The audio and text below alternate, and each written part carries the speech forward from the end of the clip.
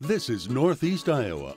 Calling all trucks from 1918 to 2018. Let's break the Guinness World Record with the longest truck cruise. If it has a tailgate, bring it to the Volga City Truck Cruise on Saturday, August 25th. Come celebrate the American pickup truck, brown that gets you to town or chrome that gets you home. Rusty and trusty, together we can break the Guinness World Record here in the USA. Supported by Brown Sales and Leasing.